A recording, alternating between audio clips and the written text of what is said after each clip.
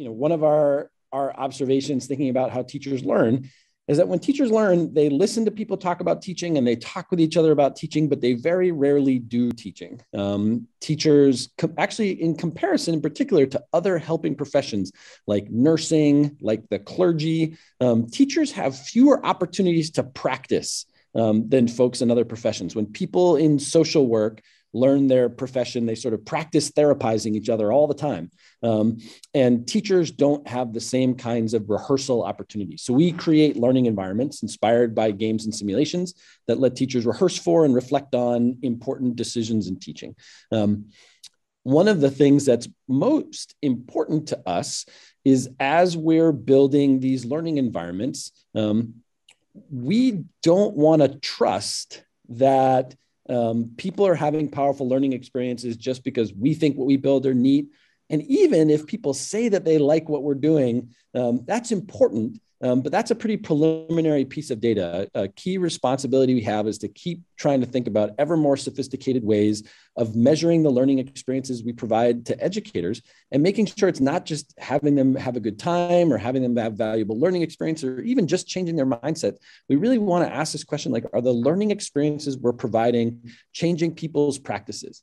When people have more opportunities for rehearsal and reflection, does it make them better teachers in their classroom? And that's why I'm so grateful to Elizabeth and Josh for leading this work, which both created really powerful learning experiences, which I know um, um, Elizabeth, hopefully, as she gets all connected, will be able to share, um, but also being able to measure, you know, whether or not those learning experiences are really helping teachers in the ways that we expect. Um, so, with that as a starting point, I'll I'll turn it over to my colleagues.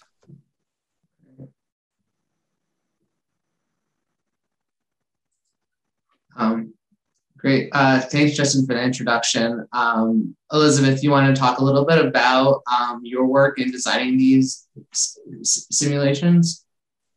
Sure. Hi, everybody. It's great to see everyone. You too, Justin and Josh. Always great.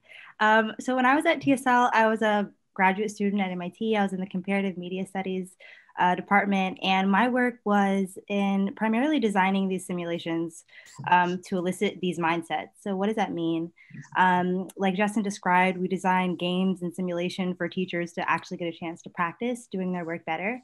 So, what I was trying to do was pretty much ground those designs and simulations in a framework for equity. Um, and so, you'll see in this graphic, we have on the left this beautiful green and gray um, framework uh, called the Educator Mindset uh, and Consequences Framework.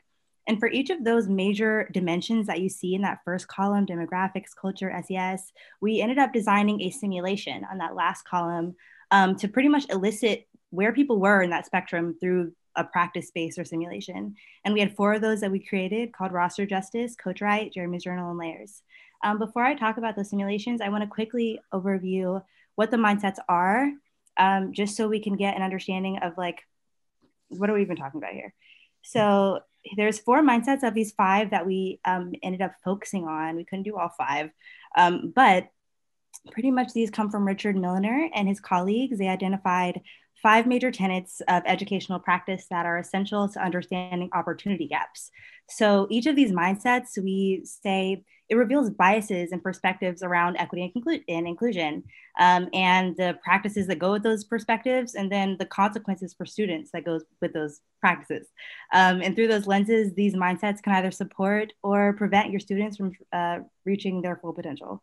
Um, so the first one is aware and avoidance um, these cover the extent that power balances across student demographics are integrated into instructional decisions, curricular decisions, policy level decisions. It also is concerned with the extent that people are comfortable explicitly naming demographics.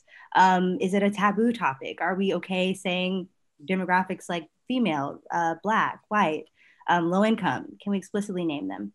Um, and talk about how students who from these demographics are experiencing school differently from each other. Uh, the deficit asset framing mindset provides insight into the extent that teachers draw upon students' unique cultures, their backgrounds, uh, their personalities, their community assets, so that students are learning um, meaningfully. And it also includes ensuring high expectations um, for all students to thrive, no matter what. Uh, the third mindset here, equality and equity, Um, this set of mindsets addresses the way that educators consider the way larger um, issues in society, such as meritocracy and student family privilege influence uh, students' achievement and success. Um, whether students and teacher, whether teachers are actually providing students tailored support depending on where they come from, or if they're giving students additional opportunities to succeed or not. Uh, the last mindset here that we're going to talk about uh, is the social context one. It breaks into acontextual and sociocultural, and that one pretty much sheds insight into how much curriculum and school practices reflect an appreciation of what's going on in students' lives outside of school. So, how much are we considering students' family and community lives in making sure they have a meaningful learning experience? And so that was a mouthful, but pretty much that doesn't matter so much. Only that we designed these four simulations, roster justice, coach right, and the other two to sort of bring out those mindsets in a simulation sort of style environment. So here is the overall look and feel for one of these simulations, roster justice. Um, what we did, I can explain these pictures, but the way the simulations go is we present data along the way and dialogue between yourself and students or admin that might be in the situation. Um, we design them to be as neutral as possible so that um, it feels like it would feel in real life, right? So we don't want you to think there's a right or wrong answer. It's designed so that you're sort of given information that you usually would as an educator. Um, and we don't, we simply present the data and you decide what you want to do as you go. So here's an example of three data points that we describe that we share in roster justice. Um, so it can mirror real life. And one of those we show uh, in roster justice, this is the practice space that aligns with the aware avoidance mindset. Um, and pretty much what you're doing in this one is the educators are reviewing this data um, including class rosters, their own schedules, to determine pretty much um, whether the classes are distributed fairly, fairly by the student demographics, because that's pretty much what that mindset's about. And then they have a chance or not to advocate on behalf of these students to the principal who's responsible for these curricular decisions. So along the way, they're seeing these rosters. We ask them, do you see anything? Um, what do you see? Pretty open-ended and so that allows us to sort of see, okay, what are you seeing? And then you can see in that last slide, um, the principal is saying, okay, well, we're seeing this. And you decide, okay, do I want to advocate? Do I want to defer? And along the way, you're given this data and moments to pretty much respond um, or not. And that's pretty much how they go.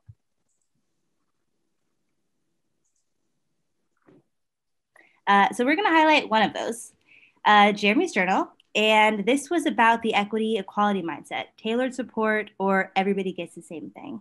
Um, in this practice space, Jeremy's journal, you go through it with, um, uh, you follow a kid Jeremy for a week, pretty much Monday through Thursday. And every day, Monday through Thursday, you're given a snippet of Jeremy's journal. So if you look at that first image, you're seeing Monday, um, this is what Jeremy turned in. And you're looking at what he turns in every single day of the week. And you're pretty much prompted at the end, based on what you see, what do you want to do? Do you want to talk to him alone? Do you want to talk to the whole class? Do you want to just move on? It's not that important. So, along the way, you're sort of prompted like, what do you want to do as you're seeing more and more data about what's going on with Jeremy? At the end of the simulation, pretty much present you with like the game changing decision. Like this is the deal breaker that we're hoping will give us insight into how you're going to handle, uh, you know, the situation. And so what we do here is we show that there's a quiz on Thursday, and you pretty much have to decide is Jeremy going to take this quiz or not. He comes to you with a letter from his mother that says, you know, pretty much he's been in the doctor's office. Um, she couldn't get a, a letter from the doctor, but my kid is this is what's been happening to my kid. Like, please excuse him. Jeremy comes to you on the last day and he's like, I have this letter. I don't have a doctor's note. I can't take this quiz. My mom will kill me. And so you have to pretty much take into consideration everything that you've seen Jeremy do over the week, the decisions you made along the way to support him or not throughout the week, and then this final piece of information about this letter. Okay. So there's a few things you want to keep in mind um, what he's done, you know, the validity of this letter, um, whether this letter aligns with school policies or not, you know, whenever there's a doctor's note. So you have all these pieces of data you have to keep in mind. And we find that depending on what people notice, whether it's the week long getting it or not you know at the end of the day was he showing up what was his social patterns depending on what people notice with all this various data we give them people make their own decisions and depending on what they want to do handling this letter along the way that allows us to have insight into what is most important for how they're going to move forward with jeremy Thanks, Josh. So this last slide I'm going to cover is what we see. So we see that people do a number of things when we show them this um, this letter, and these are examples of responses that Josh and I and Justin were able to elicit from some of our courses when when actual real educators did this simulation. And we see that there's a range of things that people do but we were actually able to categorize them between that equality side or that equity side from that graphic i showed you in the very beginning. When prompted when shared that letter educators have said a number of things. We've seen two examples of equality mindsets um, which was everyone has the same chance everyone gets the same thing and these are the sorts of things that uh, educators say to Jeremy. They say, Thanks, Jeremy. Please let your mom know that in the future you will need a note from your doctor when absent, right? Focusing on the letter. Uh, they also say, Thank you for bringing me the note. But as you know, the school policy is to bring a doctor's note. So you can be excused from class. Do you have that or not? Okay, so that's an example of everyone has the same chance, everyone follows the policy. Where's your letter according to policy? Um, on the opposite spectrum of that mindset, equity versus equality, we also see equity looking mindsets. And this is what people have said. They have said, Thank you for the note, Jeremy. Are you feeling better today? I'm not going to give you all the work you missed, but would like to get, look back at your notes. The first lesson to see. Um, would you like me to go over that with you? Another one is, I'm glad you're feeling better. Let's get you paired up with someone who can help you catch up. So, in those two examples, they're very different. Um, but in those two examples, they're both considering Jeremy's lived realities and they're also focused less on the note and more what's going on in Jeremy's life. How can I support him? Even though everyone has this quiz today and typically everyone needs a doctor's note, I want to work with him to see like what's really going on so I can make sure he succeeds versus sort of focusing in the first two. And we see equality mindsets that they're more focused on the letter and the policy. And typically this is what needs to happen. So why didn't you do that? Right. So those are sorts of things that we see.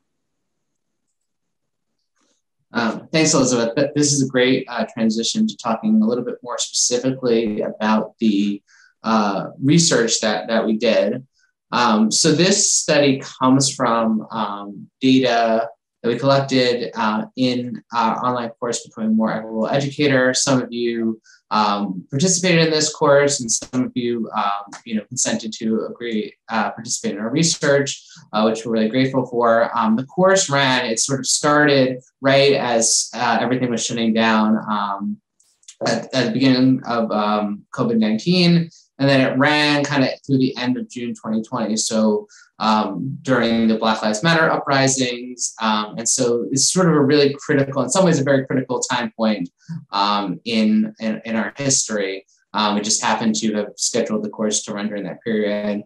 Uh, we've had uh, almost uh, 8,000 people uh, sign up for the course, and about a thousand people uh, did at least one of our simulations. Um, and so the way that we designed the research, we looked at the people who did at least one simulation, and we took um, and who consented to participate in the research, and we took um, all of their simulation responses. So every line of their responses in all of the simulations. Um, as you can see, it's it's it's a it's a lot of data. It's almost uh, forty thousand rows of data, and so this is this is a pretty large um, data set um, in terms of, of text data. And a lot of the existing research on simulations um, either kind of looks at very, very small like case studies of individual simulation activity, or they'll sort of do like a pre-post evaluation where they look what did people think before they did the simulation, what did they think after they, they did the simulation. But there's very little research into what do people actually do in these simulations and to what extent are they actually applying their learning um, in simulation behavior. Um, and this is sort of a real really important because you know people might, as Justin sort of alluded to earlier, people might say, "Oh, I believe this thing," or "I'm you know really supportive of equity." But when actually get presented with a scenario, how do they respond to that? Um, you sort of in, in, in real time. And so we um, wanted to sort of use this data to really understand how do people actually respond within the simulations um, themselves. Um, so as I said, it was a very, very large um, corpus of, of, of, data. And so it wouldn't have been practical to analyze it sort of line by line. So what we did is we used a uh, method uh, from natural language processing called uh, topic modeling. Um, so I won't go into all the technical details of, of how this works, but basically to summarize, um, what topic modeling does is it looks at patterns in words uh, within a text. And based on the patterns, it sort of pulls out sort of com- uh, words and things that tend to co-occur together. Um, so, for example, let's imagine that you were looking at two articles in the sports section of a newspaper. Um, and one of the articles was about baseball, and one of the articles was about football. In the article of baseball, you might expect you know, certain words like pitcher, baseball, home run. These are words that are very specific to the context of baseball. So if you see those words or if a computer saw, saw those words, it would know that this is an article about baseball. Versus if there was an uh, article about football, it might have things like yard, quarterback, touchdown. Those are words that are specific to football. And so the computer will be able to detect which are the um, articles that are about baseball and which of the articles are, are, are about football. Um, one of the sort of good qualities about this type of approach is it doesn't require any a priori assumptions about the structure of the data.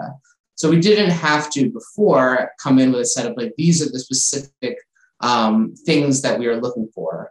Um, we sort of allowed the computer to identify what are sort of the underlying patterns um, in the data. Additionally, the specific um, type of topic model that we use is called structural topic modeling. And this allows for the inclusion of predictors into the model. So it allowed us to see, are there any correlates to different topics appearing in simulation responses? And in particular, we were interested in how did people's beliefs about equity as, as they said on surveys, how is that related to their behavior within the simulations themselves? Um, so just to kind of give you a, a, sense of, of how the topic model works, um, uh, these are two topics that were sort of pulled out of our um, out of our um, data. So topic seven, um, and, and the lines represent how much is that word specifically associated with that topic. So the larger the line, the more associated that particular word is with that topic. So for topic seven, the words that were most highly associated with topic seven were today, yesterday, better, feel, now. And for topic 10, it was doctor, absence, note, mom, get. And those are the words that were most associated with uh, topic 10 versus topic 7. Now, Imagine you had uh, this uh, set of text from the example that Elizabeth talked about earlier. Um, imagine that you the you you know you're saying we missed you at class yesterday. Hope you're feeling well.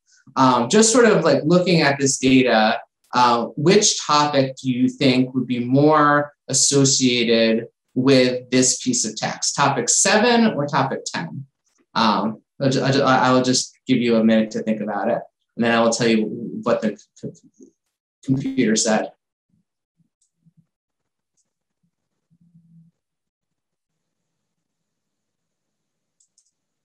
So the right, so what the computer predicted was um, topic seven. It said that the most probable topic that was associated with this response was topic seven because it evaluated what words were most associated um, with that particular topic. And the topic modeling is also probabilistic, so it doesn't sort of assign an individual topic, it assigns a probability of how likely is each topic to appear within a particular response. And so we applied this topic model, we applied it across all of, of the simulations um, within the course. And for each simulation, it pulled out a different set of topics. We were able to see what are the topics that were associated um, in each each people's response and what types of, of things did, did it detect. Um, and one of the, the surprising things was that even though we didn't assign any labels, uh, the topic model was able to detect um, uh, themes that you know, Elizabeth had actually sort of thought about putting in. So the same with the doctor's note, there's sort of two options of, you know, are you going to mention um, the, you know, the fact that you don't have a doctor's note? and that's the school policy, or you're going to ask Jeremy how he's feeling. Um, that was actually something that the that the model was able to detect from people's responses and, and as distinct ways that people might respond in, in this simulation. Um, so then once we had the topics, we're then interested, okay, which topics are more or less associated um, with uh, the educator mindsets that we had talked about earlier. And we used a survey scale um, that we had developed uh, prior to the course that had a, a, a, a, set of survey items for each mindset. So for each mindset, there was a set of you know four to six survey items that were associated with each mindset. And then we looked at, okay, how correlated were people's responses with um, on the survey with the topics that appeared um, in, in their simulation responses. Um, and so this is this is from, from the article. And so one of the things we found was that there was a pretty strong association between certain topics appearing in people's responses and um, people's survey responses about equity. So, for example, in the Jeremy's Journal um, simulation, the, the, the doctor's note in school policy, was more associated with an equality perspective than an equity perspective. So people who sort of mentioned that the fact they didn't have a doctor's note were more likely to, on survey responses, indicate more of an equality perspective versus uh, people who said about Jeremy feeling better uh, or asking how he was feeling, those people were more likely to have an equity perspective. Um, and we noticed similar trends across other simulations that things that we had sort of intended of, um, you know, identifying potential, um, you know, less equitable or more equitable behavior in the simulations themselves were associated uh, with those uh, behaviors. Um, and so that was sort of an interesting find, sort of that the simulations are sort of measuring in some sense, like what are people actually, um, you know, behaving and can actually detect it um, using uh, natural language processing.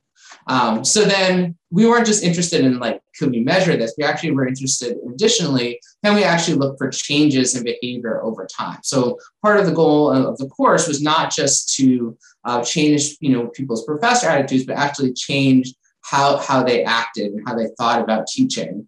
And so we wanted to see, do we actually see any changes of behavior within the simulations? Uh, but one of the challenges was that because each of the simulations were different, you couldn't make kind of direct topic comparisons between each simulation. You had to actually uh, look at differences across different types of simulations.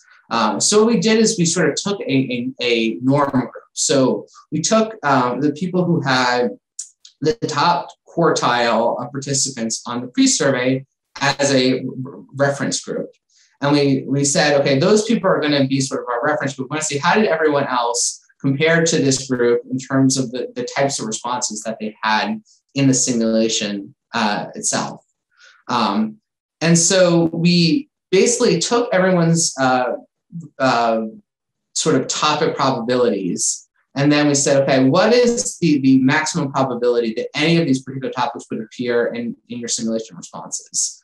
And then we said, okay, we have this sort of group of top quartile people. How, how similar or different are your responses to the average response of someone in, in that group?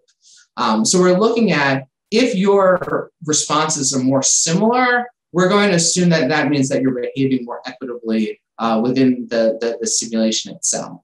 Um, so we use something called the Euclidean distance measure, which looks at how similar um, are is someone's uh, sort of a set of responses. And, and what we wanted to see was that people's responses, the distance from, from that group uh, decreased over time, indicating that they were acting more like the equitable group.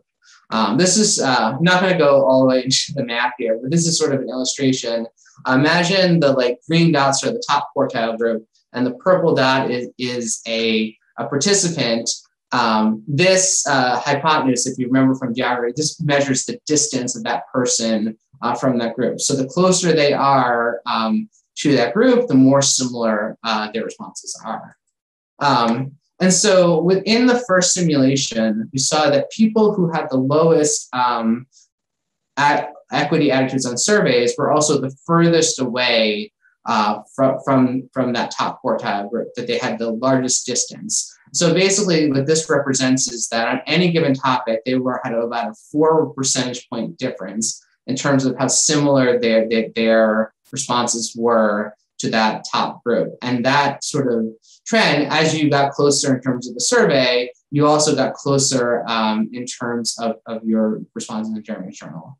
Um, what was really exciting is that um, when we looked over time, so we looked at each simulation in the course, all of the, the quartiles got closer to that um, top quartile. All of them were shifting um, to have their responses be more similar, and they were also becoming more similar um, to one another. And so by the end of the course, you know, most groups were pretty similar in terms of, of how they responded um, on, on, on, on the survey, uh, in, in the simulation. And we think that this indicates that people are sort of applying kind of what they're learning in the course. So before they they started the course, you know, they had may have very different approaches. But as they learned about some of the content in the course, they're starting to apply those uh, within within the simulation itself. And this is starting to sort of merge in behavioral data, people actually taking what they're learning and applying it um, in, in, their own practice. Um, and this is the paper, I didn't include this in the slides. We actually see corollary in terms of changes in um, mindsets and the surveys and also changes in self-reported uh, equity practices.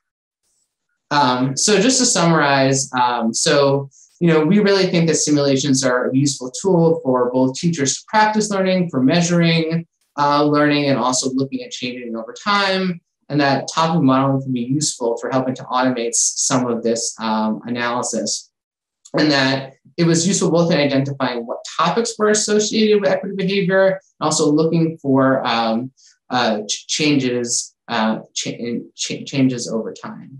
Um, so now uh, we have some time for questions. I don't know, Elizabeth, um, do you want to sort of look at the questions that are there or if you um, we're getting a little feedback thank you so much for that josh we're getting a little feedback in the chat that the slides were delayed so oh, okay. i can't see and they can't see your beautiful graph that you were just explaining okay. for the past 10 minutes okay is that are you able to we can't see it still um, you, you, uh, you, you, can't see any of, of, the slides. Nope, we're on the examining changeover simulation slide. We haven't seen uh, the graphic uh, that you were just. Oh man. Okay. Uh, let me let me uh, stop sharing and then I will reshare and hopefully that will work. We'll try to debug this thing. Um, are there any uh, questions that we could answer in the chat, Elizabeth? Yeah, so we saw some questions about the design. I see people got links, which is good. Um, people asked if the simulations can be used in professional development and they are that is pretty much the medium that we share them out in the world is actually mm-hmm. through professional development workshops and before covid we went to a lot of schools and like while we were still in the design process um, we got a lot of feedback from students from teachers from principals admin family members about um, you know what was going on in their schools what were the most common situations that come up and that fed into our design, the personalities of the students, the decisions that teachers had to make, and those sorts of things. So uh, I think, yes, this recording will be shared. Mm-hmm. Um, mm-hmm. And yeah, and then I think that we were able to share those links of all each of those simulations is public use, and you can use them for anything or tweak them or in any way. Um, but I'm hoping we can get this graph on here because Josh yeah. at it for, I know. I, I, I apologize. I can't it's even like a real graph. I'm gonna I'm gonna I'm gonna exit out of the webinar and see if I can I can get my like screen totally froze. I can't even figure out how to stop sharing. Do you want to just reboot and I'll stay? Yeah, I'm, I'm, I'm, gonna, I'm gonna I'm gonna I'm gonna reboot. Are, are you listed as a you're listed as a host, right? So we'll, yes. we'll close everyone out. Okay, I, I will do that. And I see a research methods question, and we will talk about that next for sure. Um, I can answer that question about the uh, research methods. Um, I think um, what um, I think what I I'm I try to do um, in, in my work is think about how can we take um, some of the sort of great um, research and insights that qualitative um, researchers have had looking at um, students' experiences in classrooms and think about how can we sort of extend that into uh, a broader uh, into a broader sphere and look at sort of how does this how does this work when we're looking at it in a large scale uh, learning environment and without sort of sacrificing some of the quality of people's actual uh, words and expressions and feelings. So in a lot of ways, this, this, this process sort of draws on, you know, a mixed methods approach, looking at not just, you know, numbers and what, what are people saying, but also what are people's actual words. Um, and it's been really um, illuminating, interesting to see what are just the different ways that if given a situation, people people will respond to it. Um, and hoping that, you know, as these simulations sort of become more prevalent, we can really learn more about, you know, how how does, you know, your response to simulation, what does that say about your attitudes about teaching, about working in the classroom, um, and other things, and how can we use simulations as a way to sort of nudge and prompt people toward rethinking some of their original assumptions about teaching.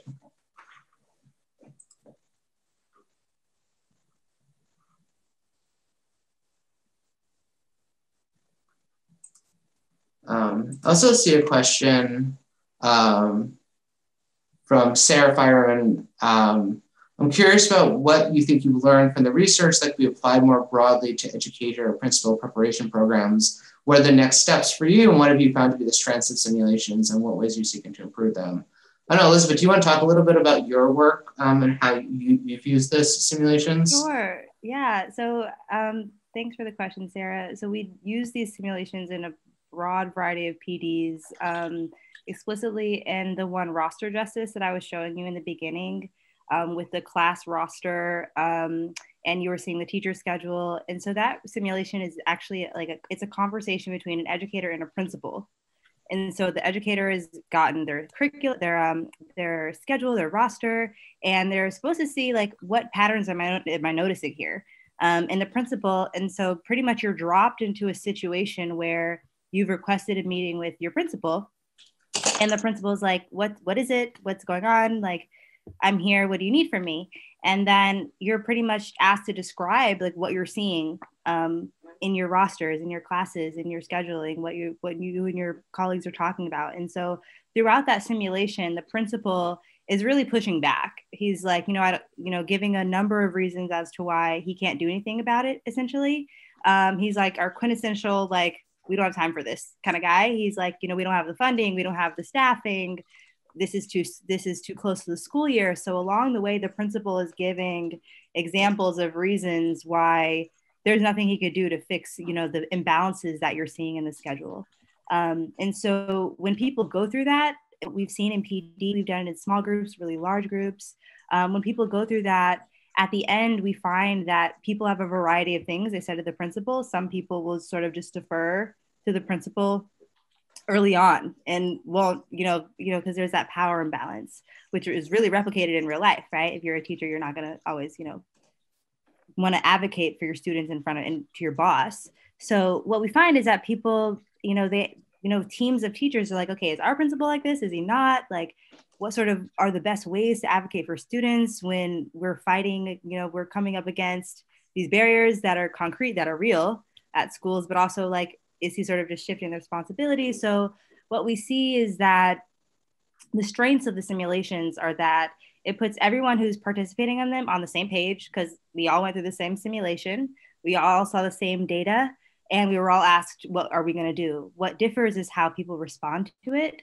And i think what we've seen is the conversations that teachers get to have with each other about how they responded or why, or what they noticed along the way or what they didn't, really helps them to develop, um, especially when we put the things they noticed and like what we recommend as best practices in the simulation into perspective to what they really did. And we give them that framework and we say, well, if you didn't advocate for the students and notice that these classes were super um, blocked off, right? So what you'll see in that simulation is that all the black kids and girls and students with disabilities are all grouped into one class and then mostly white males and asian males are put into this computer science class and it's because of a number of things that are going on at the school um, but whether you notice them, whether you're able to communicate that to the principal, why would you, how would you do that? Those are the conversations that we see teachers have with each other um, after they finish the simulation. Um, and they learn a lot from each other. They learn about um, what's the best, you know, way to handle this that is going to be most equitable for students. And what if i had done this is probably harming my students in the long run because it aligns with the less equitable mindset that is actually happening all the time. So um, we think those are the strengths putting everybody on common ground giving everybody a common language um, giving everybody examples of what the right thing might be to do or how to improve. Um, and the way we seek to improve them um, there's everything can always be improved. So um, i guess like we always take feedback. So the, the thing, another thing about the design process is that what you see has been iterated like 10 times. I mean, that's not even an under exaggeration. Um, the first time we do this, we test this out with teachers, with our colleagues, we test it out on each other. So by the time we actually share these simulations, they've been iterated. It's just an iterative design process. So we kind of like once it's there, it's there because we we've improved it based off so much feedback um, to make them as like neutral seeming as possible so that the things that people actually do are like what they would actually do, not because they're being prompted to do it, but because it's what somebody would actually do. So I think that iteration always improves. Um, I have to think a little more on what the next step would be for them. But I think the simplicity is honestly like an affordance because I think the more simple the design is, um, the more space it gives people to pretty much do anything that they would do. I think the more complicated sometimes the design gets, you get less of a cohesion between. We're seeing a lot of patterns. The patterns become more hard to um, to interpret and give people good advice based off of them. Yeah, I agree. I think definitely the sort of simple structure really helps a lot. Also gives everyone sort of a common frame of reference for like, okay, what did you do in this particular situation uh, in the simulations? Um, one other thing I'll plug that uh, I've been working on is thinking about ways that we can, in the moment, process people's responses. So, and, and, and give them feedback. So, you know, and thinking about when is the right time to do this and what size feedback. So, for example, you know, if someone's doing the simulation, and they've sort of like based on their responses, it's pretty clear that they see Jeremy as sort of a troublemaker. That he's just sort of being deliberately, rather than some people might see him struggling in school and feeling embarrassed. Some people might think that something is happening at home. There are also some people who see the same set of facts and say like, oh, well, he's clearly just trying to test my authority as a teacher and he's goofing off and he needs to get his act together. Um, and so we see that in, in the people's responses. Is there a way to actually give people feedback in the moment? Like, okay, maybe take a step back and kind of look at some of the evidence um, that you've seen over the week. Um, and like, does is that consistent with your interpretation? Um, I think similarly, sometimes people will say like, you know, very common response is, is that, um, Elizabeth, you can, so if you've seen this, you know, I wanted to take the quiz because I want to see how he's doing, um, which is, you know, I think uh, teachers often want to get feedback about what their students know. However, there's been a lot of evidence through the week of how he's doing and what he knows. And so taking the quiz is not really going to add that much to, to, to, to that evidence base. Um, and so part of what we're thinking about are there ways that we can kind of give people feedback within the simulation itself, and so they can kind of think about uh, their own responses.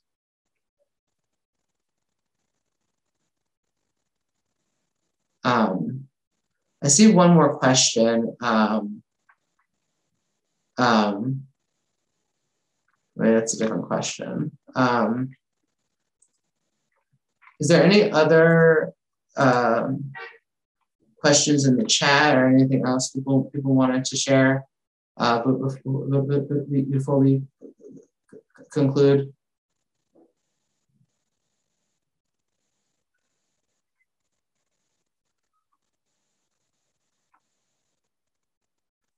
Um, oh, I see somebody asked if it's possible to play these simulations. And um, and there's sort of uh, two ways to, to access them. One is, is through the course itself. So um, the course is still free and available, so you can go up and take the simulations there. Um, the other option is uh, through the, the, the Teacher Moments uh, website.